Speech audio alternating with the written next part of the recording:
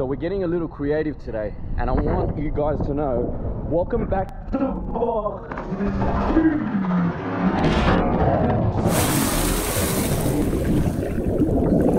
Oh shit.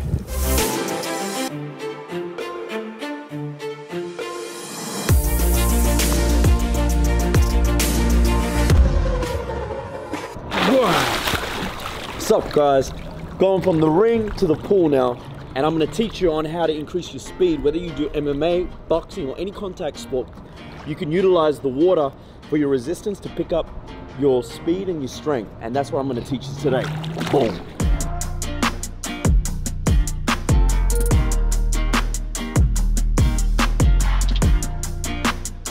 So the first thing you want to do, the same thing that we take in the gym into the boxing area, what do we always start with? A warm up. So I'm gonna show you a warm up that's gonna be able to start you off really well. And you're gonna go to one side of the pool, all right? And if you see the other side of the pool, that's where you need to go, all right? You get, you're gonna do a light run across with your knees up, all right? And as you go, pretend like you're running, all right? Bring those knees up on your toes, on your toes, everything light. Same thing I always explain in my other videos about footwork. Light, light, light, hands up, all right? I'm gonna go across. You're gonna do this at least once, twice, you're gonna do it 12 times, all right? And as we're doing it, we're gonna add a little hook, all right? Left, right, left, right, left, right, left. Use your shoulders, keep it real relaxed, and keep running and you'll feel the current against your knees and your legs and it's to pull resistance on you and at the same time I want you to work your shoulders your traps your legs your hips you're basically using your whole body. Right. We're going to get a full body workout but at the same time we're going to increase that speed we're going to increase that power as well. Now this is training I've been doing since I was 14 years old and it's worked for me. It's worked to increase everything as far as even my cardio as well, which is really important. So the benefits to this is you get speed, you get power, you increase your cardio, and you also change your routine in your training. So it breaks it up from always going to the gym. At least you can do something different that no one else does. So do that for your warm up for 12 laps, and then we get straight into it.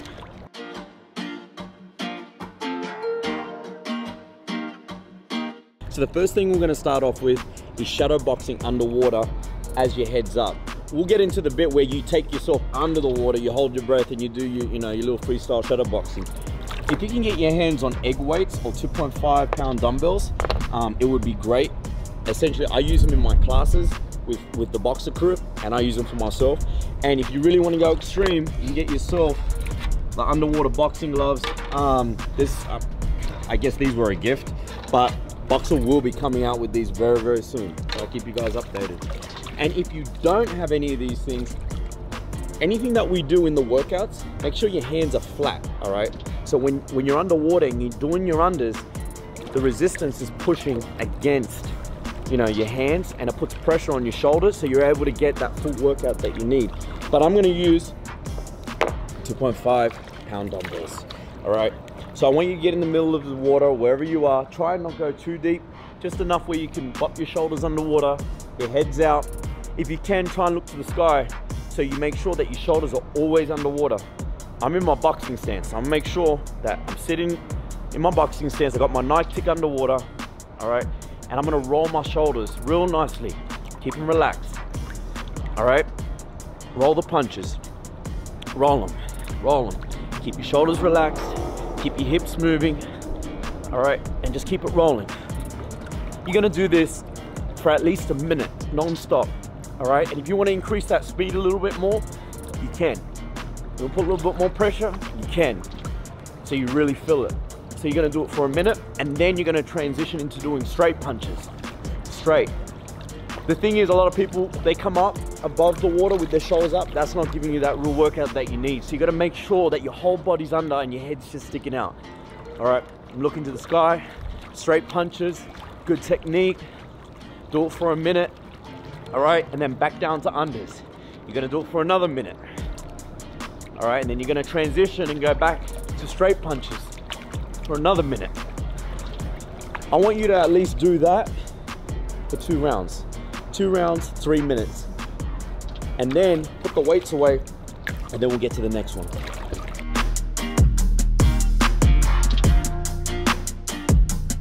Now we're really gonna get into it and get real intense with it. So we're gonna go towards the deep end a little bit more.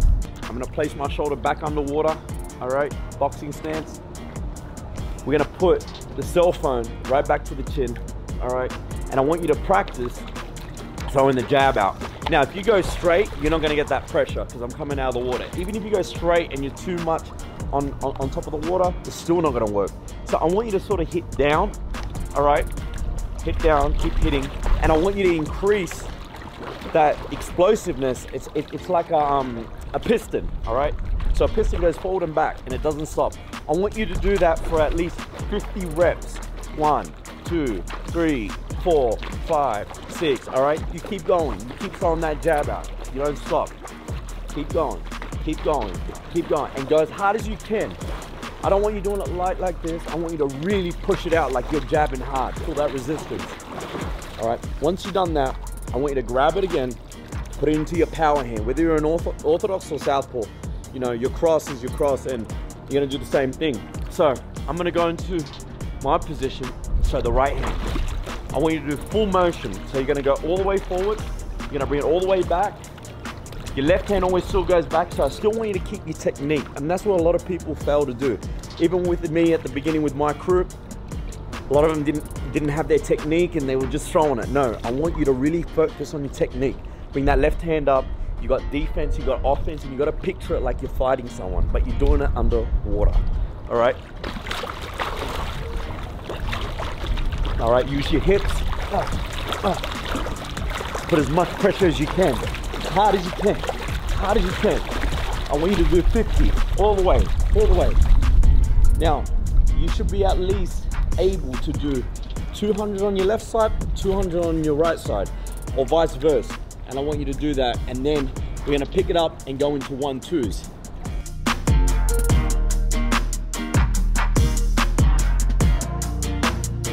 So now I'm gonna go back to the egg weights because most people are gonna be able to have access to weights.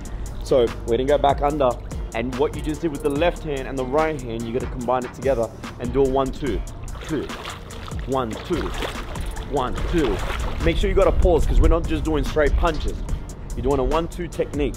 One, two, one, two, one, two, one, two, one, two, one, two. I want you to do that for three minutes on the one, two. And then I want you to come over the shallow end, all right? And do this quick. You're gonna bring your body halfway out of the water into your boxing stance. And I want you to combine, huh, jab, right hand, one, two, jab, right hand, one, two, jab, right hand, one, two. So you're gonna combine the jab, the right hand, and the one, two for one round, three minutes. And then on the last one that I'm gonna show you, we're gonna combine it all and do it underwater, which is my favorite. Guys, another real important note that I wanna put there is that breathing is so, so important. It's essential towards everything that we're doing um, and what I teach you. So I wanna make sure that you inhale really well, you exhale really hard because every punch counts and you want to be able to increase your cardio to a, to a high level by utilizing this um, this training routine it's really really important so if you can make sure you breathe make sure you breathe and that's just a quick note just to remind you now we're going to go underwater and I want you to combine your jab, your right hand, your one, two. I want you to take a deep breath before you go under. And if you can, get a timer, time yourself to see how long you can shadow box underwater. Come back up, breathe for 10 seconds, go back down and time yourself and see how long you can really last underwater shadow boxing. And then after that, you take it outside the pool and you do your freestyle shadow boxing and then go to your gym, put your work in, make it happen.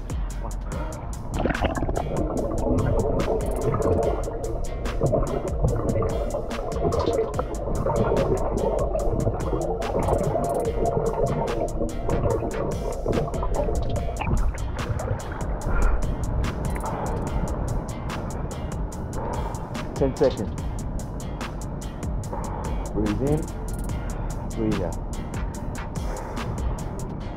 Then back to it.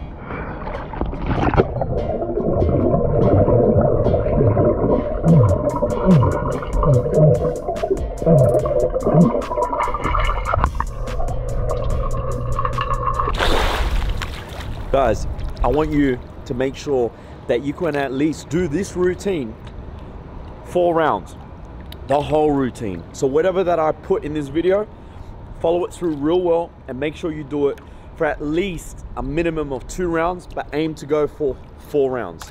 All right. So I want you guys subscribe, leave your comments below, and any other water workouts or anything to do with boxing, you let us know and we'll make sure we'll make it happen. Boom.